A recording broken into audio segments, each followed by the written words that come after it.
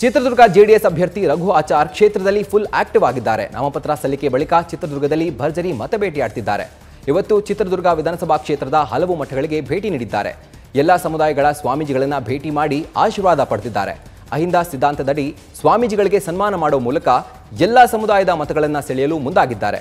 ನಗರದ ಮಡಿವಾಳ ಮಾಚಿದೇವ ಪೀಠದಲ್ಲಿ ಇಮ್ಮಡಿ ಸಿದ್ದರಾಮೇಶ್ವರ ಸ್ವಾಮೀಜಿ, ಶ್ರೀ ಯಾದವಾನಂದ ಸ್ವಾಮೀಜಿ, ಶ್ರೀ ಬಸವ ಮಾಚಿದೇವ ಸ್ವಾಮೀಜಿ ಸೇರಿ ಹಲವು ಸ್ವಾಮೀಜಿಗಳನ್ನು ಸನ್ಮಾನಿಸಿ ರಘು ಆಚಾರ್ ಆಶೀರ್ವಾದ ಪಡೆದಿದ್ದಾರೆ. ಕಾಂಗ್ರೆಸ್ ಟಿಕೆಟ್ ಆಕಾಂಕ್ಷಿಯಾಗಿದ್ದ ರಘು ಆಚಾರ್ಗೆ ಟಿಕೆಟ್ ಕೈತಪ್ಪಿದ್ರಿಂದ ರಘು ಆಚಾರ್ ಜೆಡಿಎಸ್ ಸೇರ್ಪಡೆಯಾಗಿದ್ದರು ಬಳಿಕ ಜೆಡಿಎಸ್ನಿಂದ ಚಿತ್ರದುರ್ಗ ವಿಧಾನಸಭಾ ಕ್ಷೇತ್ರಕ್ಕೆ ಟಿಕೆಟ್ ಪಡೆಯುವಲ್ಲಿ ಇವರು ಯಶಸ್ವಿಯಾದರು.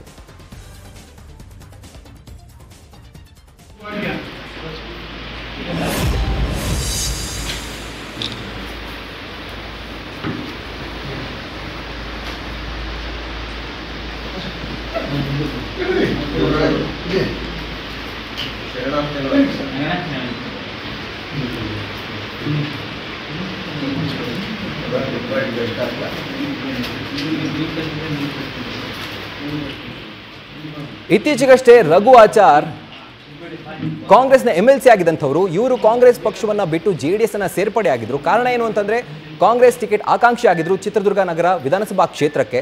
ಆದರೆ ಯಾವಾಗ ಆ ಟಿಕೆಟ್ ಅವರ ಕೈ ತಪ್ಪಿತೋ ಅಥವಾ ಆ ಒಂದು ಸುಳಿವು ಸಿಕ್ತೋ, ಸೊ ಇವರು ಜೆ ಡಿ ಎಸ್ನ ಸೇರಿಕೊಂಡು ಈಗ ಸದ್ಯಕ್ಕೆ ಚಿತ್ರದುರ್ಗ ನಗರ ವಿಧಾನಸಭಾ ಕ್ಷೇತ್ರದ ಜೆ ಡಿ ಎಸ್ ಅಭ್ಯರ್ಥಿಯಾಗಿ ರಘು ಆಚಾರ್ ಕಣಕ್ಕಿಳಿದಿದ್ದಾರೆ.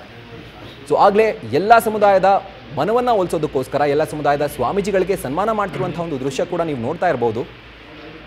ಸೊ ಈ ಒಂದು ರೀತಿಯಲ್ಲಿ ಮತಬೇಟೆಗೆ ಭರ್ಜರಿಯಾಗಿ ಎಂಟ್ರಿ ಕೊಟ್ಟಿದ್ದಾರೆ. ಹಾಗೂ ಚಿತ್ರದುರ್ಗದಲ್ಲಿ ಇರುವಂತಹ ಎಲ್ಲ ಸಮುದಾಯದ ಮತಗಳ ಮೇಲೆ ಇವರು ಕಣ್ಣಿಟ್ಟು ಆ ಮತಗಳನ್ನ ಸೆಳೆಯುವಲ್ಲಿ ರಘು ಆಚಾರ್ ಅವರು ಯಶಸ್ವಿಯಾಗಿದ್ದಾರೆ.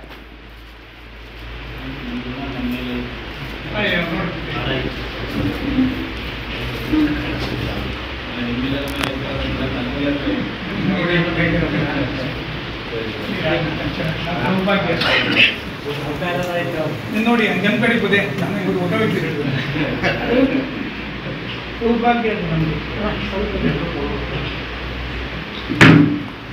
ಅದು ನಮ್ದು. ಸಾಕಲ್ಲಪ್ಪ? ಏ, ನಾವು ಯಾವ್ದು ಕೂತೇ ಇಲ್ಲ ಏನು ನಮ್ಮ ಕಲ್ಚರ್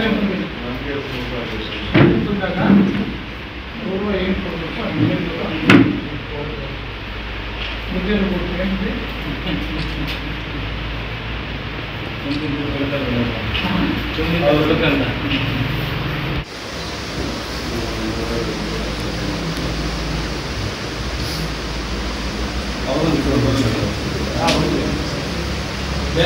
ಏ ನಾನು ಯಾವತ್ತು ಕೂತಿದ್ದೀನಿ ಹೇಳ್ತೀನಿ ಓದು ಹೇಳಿ ಹೌದು ನಾನು ಯಾವತ್ತು ಕೂತಿದ್ದೀನಿ?